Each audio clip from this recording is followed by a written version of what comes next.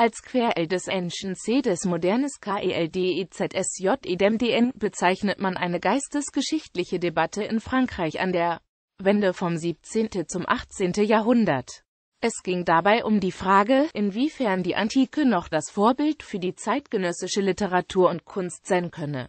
Geschichte Ausgelöst wurde die Debatte am 27. Januar 1687 in der Académie Française, als Charles Perrault anlässlich der Genesung Ludwigs XIV.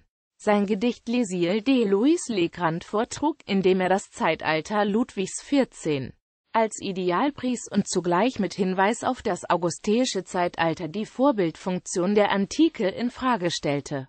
Dies erregte unverzüglich den Protest des Akademiemitglieds Nicolas Boileau des Pro. Der Streit verschärfte sich, als Perrault ab 1688 die vier Bände seiner Parallele des Ancient C des Modernes publizierte, worin er seine Angriffe auf die Alten wiederholte indem er in einem fiktiven Dialog ihre vermeintlich schwachen Leistungen mit den in beinahe allen Bereichen des menschlichen Lebens überlegenen Errungenschaften der Modernen konfrontierte. Zuletzt musste er allerdings konzedieren, dass die Leistungen der Alten in der Kunst und Literatur offensichtlich nicht mit den allgemeinen gesellschaftlichen Entwicklungen zu verrechnen seien und daher auch an sich einen Wert darstellen können. In der Folge bildeten sich zwei Lager heraus, die sich mit zahlreichen Publikationen bekämpften. Außer den genannten zählten zu den Alten unter anderem Jean Racine, Jean de la Fontaine und Jean de la Bruyère. Zu den Modernen vor allem Bernard Le Bovier de Fontenelle und Jean Desmarets de Saint-Sorlin. Der Streit ging dabei im Grunde um zwei gegensätzliche ästhetische Modelle. Zum einen das Prinzip der Nachahmung, das sich an der Antike als absoluten Schönheitsideal orientierte. Andererseits das Prinzip der freien Imagination des Genies, das aus sich selbst schöpft.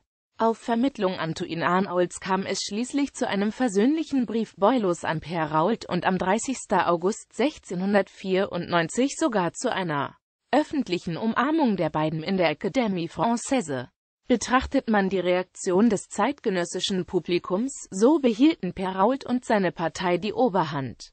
Naturgemäß führte die Querelle aber zu keinem eindeutigen Sieg, sondern verlief allmählich im Sande. Allerdings kam es im zweiten Jahrzehnt des 18. Jahrhunderts zu einem Wiederaufflammen der Debatte. 1713 publizierte Antoine Houda de la Motte, zu diesem Zeitpunkt waren Perrault und Boileau bereits tot, eine Übertragung der Ilias die gegenüber dem Original deutlich gekürzt und an mehreren Stellen mit dem Ziel, Fehler Homers auszumetzen, verändert worden war. Dem eigentlichen Text stellte Lamotte einen Discours sur Homere voran, worin er sein Vorgehen rechtfertigte. Dennoch erregte er den Widerspruch von Anne Dacier, die 1714 mit ihrem Buch des Causes de la Corruption du Gaut reagierte. In Verlängerung einer Diskussion aus dem dritten Dialog in Perraults Parallele kam es so zu einer Debatte über den Vorzug von Original oder Übersetzung. Dieser Streit, in den auch andere Autoren, insbesondere François de Salignac de la Fenelon, der Abbé Jean Terrassen und Jean Boeven eingriffen, endete 1716 wiederum mit einer persönlichen Versöhnung der Hauptkontrahenten und ging unter dem Namen Quer el Domere in die Literaturgeschichte ein. Auch wenn der Disput sich damit im Wesentlichen erschöpft hatte, wirkten die von der Querelle gegebenen Anstöße in die Diskussion der Aufklärer hinein und darüber hinaus bis in die Romantik weiter. Der antike Einfluss in der französischen Literatur blieb unterdessen stark und lässt sich selbst bei Baudelaire noch nachweisen. Geschichtlicher Hintergrund die Grundlagen der Querelle des Ancient C des Modernes wurde in Frankreich wenigstens 25 Jahre zuvor gelegt. Nach der persönlichen Machtübernahme durch Louis XIV. stellte sich die Frage, welches das angemessene kulturelle Dekor für die Illustration dieser Herrschaft sei. Desmarets de Saint-Sorlin vertrat dabei in zahlreichen polemischen Schriften die Auffassung, dass eine moderne französische Literatur nur dann den Anforderungen der Gegenwart entspreche, wenn sie auch christlich sei. So könne es eine neuzeitliche und christliche Monarchie nicht ertragen, wenn sie mit den Mitteln der antiken Kunst und Literatur gepriesen würde. Denn mit dem antiken Pantheon könne man keine wahrhaftige Literatur produzieren. Zumal die Götter der Antike alles unglaubwürdige Götter einer heidnischen Religion seien. Einzig eine von christlichen Quellen, heiligen Legenden, Kämpfen zwischen Himmel und Hölle, Einsatz der Engel etc. geprägte Literatur sei eines christlichen Königs würdig. Dabei muss als Hintergrund beachtet werden, dass die Türkenkriege in den 1660er Jahren neue Kreuzzugsgedanken aufkeimen ließen. Die des Marts de Saint-Sorlin selbst in einem Avis du Saint-Esprit Auroy formulierte. An der Spitze eines christlichen Heeres solle Ludwig XIV. die häretischen Staaten wie Holland und England besiegen, um dann mit massiver Unterstützung Europas gegen die Türken im Osten Europas zu einem neuen Kreuzzug aufzubrechen. Die christliche Wendung der Herrschaft des sich ganz säkular gebenden Ludwigs XIV. war also vor allem auch eine Frage der politischen Perspektive, die dem König für sein weiteres Wirken angeboten wurde. Dagegen zog Nicolas Bollo in seinem Art Poetik zu Felde, indem er diese Konzeption des Marts de Saint-Sorlins lächerlich machte und den Einsatz der antiken Götterwelt pries. Zuvor hatte Desmarets de Saint-Sorlin, der bereits dem Tode nahe war, Charles Perrault als seinen intellektuellen Erben und den Sachwalter einer im christlichen Sinne modernen Literatur eingesetzt. Es ging also weniger um die Vorbildgeltung der Antike als um die Frage, ob eine aktuelle französische Literatur auf der symbolischen Ebene der poetischen Formen das Bündnis mit der katholischen Kirche vorführen sollte, oder im Sinne einer relativen Autonomie der künstlerischen Formen weiterhin mit den Mitteln der antiken Kulturen eine moderne französische Literatur produzieren könne. Das Modell dafür hatte beispielsweise Jean de La Fontaine in seinen Fabeln geliefert in denen Handlungsstränge antiker Erzählungen zu Texten des 17. Jahrhunderts verarbeitet wurden. Da auch Charles Perrault feststellen musste, dass einer von christlichem Apparat bestimmten Literatur kein Erfolg beschieden war, setzte er in zunehmendem Maße auf das Wunderbare der märchenhaften Erzählungen und lieferte auf diese Weise eine eigene Antwort auf den Streitpunkt der Ancients und der Modernis indem er sich aus dieser Linie zurückzog und ein weltliches Mehrwehe erzeugte, das weder der Antike noch dem Christentum verpflichtet war. Internationale Auswirkungen da die französische Querelle bereits innerhalb einer längeren europäischen Tradition von Auseinandersetzungen mit ähnlichen Strukturen stand, wurde der Streit zwischen Perrault und Boyle schnell auch jenseits der Grenzen Frankreichs bekannt und in verschiedenen Ausformungen an die jeweiligen Gegebenheiten angepasst. Noch während der Diskussionen in der Académie Française veröffentlichte Sir William Temple als Reaktion auf Fontenelles Digression sur les Ancients et les Modernes seinen Essay upon the Ancient and Modern Learning. Auf den wiederum reagierte William Wotton mit seinen Reflections upon Ancient and Modern Learning. So entwickelte sich auch in England ein Streit, in den zudem Richard Bentley und Alexander Pope eingriffen. Ihren gängigen Namen Battle of the Books bekam die englische Debatte von Temples Sekretär Jonathan Swift, der 1704 ebenfalls, wenn auch anonym, einen Beitrag unter dem Titel Full and True Account of the Battle Fort Last Friday Between the Ancient and the Modern Books in St. James S. Library veröffentlichte. Als deutsche Variante des französischen Querl kann man die Auseinandersetzung zwischen Johann Christoph Gottsched Johann Jakob Bodmer und Johann Jakob Breitinger über das Wunderbare betrachten. Einen wichtigen Beitrag für den Transfer des französischen Streites in den deutschsprachigen Raum leistete Johann Joachim Winkelmann mit seinen Gedanken über die Nachahmung der griechischen Werke in der Malerei und Bildhauerkunst von 1755. Um die Mitte des 18. Jahrhunderts erscheint die Quell-Thematik erneut bei Gotthold Ephraim Lessing und gegen Ende des Jahrhunderts dann in den Schriften Johann Gottfried Herders, Friedrich Schillers und Friedrich Schlegels. Forschungsbeiträge Monographien Güler Alpa Der Streit der Alten und Modernen in der deutschen Literatur bis um 1750 Meyer, Pex 1939 August Buck die Querelle des Ancient C des Modernes im italienischen Selbstverständnis der Renaissance und des Barock. Steiner, Wiesbaden 1973. Joan E. DeJean. Ancients Against Moderns. Culture Wars and the Making of Half in Desil. University Press, Chicago, Ill. 1997 ISBN 0-226-141373. Hubert Gelott. La Querelle des Ancient C des Modernes en France. de la Défense Illustration de la langue française aux parallèles des Anciens et des Modernes. Sletkin, Genf 1968. Achim Hölter, Die Bücherschlacht. Ein satirisches Konzept in der europäischen Literatur. Eisthesis Verlag Bielefeld 1995 ISBN 3-8952811158. August S. Iraille. Querelles Liter Iris o Mémoires pour servir à l'histoire des révolutions de la République des Lettres depuis Homère jusqu'à nos jours. Sletkine, Genf 1967.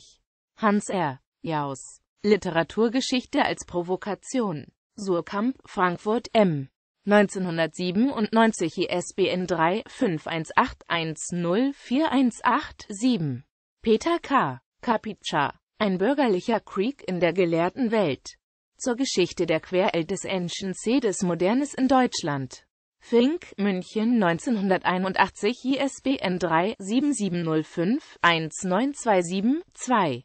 Hans Kortum, Charles Perrault und Nicolas Boileau. Der antike Streit im Zeitalter der klassischen französischen Literatur. Rütten und Löning, Berlin 1966. Werner Kraus, Hans Kortum. Antike und Moderne in der Literaturdiskussion des 18. Jahrhunderts. Akademie Verlag Berlin 1966. Reinhard Krüger. Zwischen Wunder und Wahrscheinlichkeit. Die Krise des französischen Versepos im 17. Jahrhundert. Hitzeroth Verlag, Marburg 1986. Joseph M. Levine. The Battle of the Books. History and Literature in the Augustan AGE. Cornell University Press, Ithaca, New York 1991 ISBN 0801425379-9. Christoph Oliver Meyer. Institutionelle Mechanismen der Kanonbildung in der Académie Française. Die Querelt des Anciennes des Modernes im Frankreich des 17. Jahrhunderts. Peter Lang, Frankfurt M.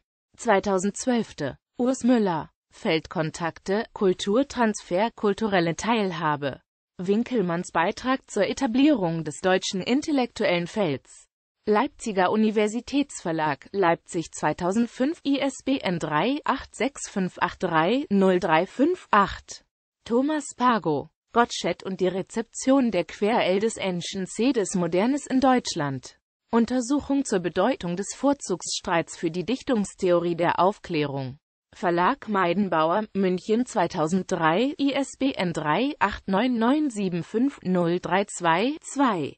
Hippolyte Rigault. Histoire de la Querelle des Ancient C des Modernes. Franklin Books, New York 1965. Hans G. Rötzer. Traditionalität und Modernität in der europäischen Literatur. Ein Überblick vom Attizismus-Agenismus-Streit bis zur Querelle des Ancient C des Modernes.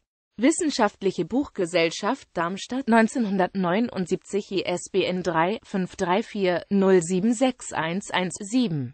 Jochen Schlobach. Zyklentheorie und Epochenmetaphorik. Studien zur bildlichen Sprache der Geschichtsreflexion in Frankreich von der Renaissance bis zur Frühaufklärung. Fink, München 1980 ISBN 3-7705-12820. Marie-Louise Spiekermann. William Wharton's Reflections upon Ancient and Modern Learning im Kontext der englischen Querel des Ancient C des Modernes. Lang, Frankfurt M. 1981 ISBN 3-8204-5885-9. Peter Songdi. Antike und Moderne in der Ästhetik der Goethezeit. Hegels Lehre von der Dichtung in Ders. Poetik und Geschichtsphilosophie. H.G. von Sentametsu R. Frankfurt M. Surkamp, 2001. Punkt. ISBN 3-518-27640-9. Peter Songdi. Von der normativen zur spekulativen Gattungspoetik. Schelings Gattungspoetik. In. Ders. Poetik und Geschichtsphilosophie. HG. Von Wolfgang Fiedkau R. M. Surkamp, 2001. ISBN 3-518-276-727. Aufsätzen Manfred Fuhrmann. Die Querel des Ancient C des Modernes der Nationalismus und die deutsche Klassik. In Bernhard Fabian UR. Deutschlands kulturelle Entfaltung. Die Neubestimmung des Menschen. Kraus, München 1980 ISBN 3-601-000148, Seite 49 bis 67. Hans R. Jaus. Antiqui, Moderni. Querel des Ancient C des Modernes. In Joachim Ritter. Historisches Wörterbuch der Philosophie. Schwabe, Basel 2007 ISBN 9783796501159. Hans R. Jaus. Ästhetische Normen und geschichtliche Reflexion in der Querel des Modernes. In Charles Perrault. Parallele des Ancient C des Modernes on CE Rigade le Acelis Sciences. Eidos Verlag, München 1964 Seite 8 bis 64. Peter K. Capiccia. Dichtung als Bienenwerk. Traditionelle Bildlichkeit in der Imitationlehre. In Jahrbuch der Jean-Paul-Gesellschaft. Jahrgang 9, Seite 79 bis 101. Peter K. Capiccia. Der Zwerg auf den Schultern des Riesen. In Rhetorik. Band 2, Seite 49 bis 58. Till R. Kuhnle. Querl. In Gerd Ueding. Historisches Wörterbuch der Rhetorik. Niemeyer, Tübingen 2005, ISBN 3-484-68100-4, Band 7 SP. 503 bis 523. Fritz Martini. Modern, die Moderne. In Paul Merker, Werner Kohlschmidt U.R. Reallexikon der deutschen Literaturgeschichte. D. Greuter, Berlin 2001, ISBN 3-110172526. Karl Menges. Herder und die Querel des Ancient C des Modernes. Eine wirkungsgeschichtliche Replik. In Walter Haug, Wilfried Barner. Ethische kontraästhetische Legitimation von Literatur. Traditionalismus und Modernismus. Kontroversen um den Avantgardismus. Niemeyer, Tübingen 1986 ISBN 3-484105321, Seite 154 bis 160. Al-En-Idast. Gens de Paris et Gens de Versailles. In Louis Goddard de Donville. DUN siehe la L. Autre. Ancients et Modernes. Edition du CNS Paris 1987 ISBN 2-90213504-1, Seite 159 bis 165 Disk 166 bis 169.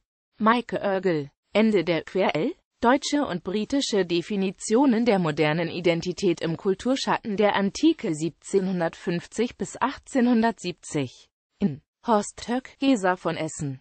Unerledigte Geschichten. Der literarische Umgang mit Nationalität und Internationalität. Wallstein Verlag Göttingen 2000 ISBN 3-89244-3688, Seite 72 bis 99. Volker Rohloff. Tradition und Modernität. Aspekte der Auseinandersetzung zwischen Ancients und Modernes. Verlag Hobbing, Essen 1989 ISBN 3-920460251, Seite 1 bis 12. Jürgen von Stackelberg. Das Bienengleichnis. Ein Beitrag zur Geschichte der literarischen Imitation. In Romanische Forschungen, Band 68, Seite 271 bis 293. Jürgen von Stackelberg. Die Querel des Ancient C des Modernes. Neue Überlegungen zu einer alten Auseinandersetzung. In Wolfenbütteler Studien zur Aufklärung. Band 6, Seite 35 bis 51. Jürgen Wilke. Der deutsch-schweizerische Literaturstreit. In Franz J. Urs Brock, Helmut Kopmann. Formen und Formgeschichte des Streitens. Der Literaturstreit. Niemeyer, Tübingen 1986 ISBN 3-484105267, Seite 140 bis 151. Siehe auch. Epigone, Genie, Klassizismus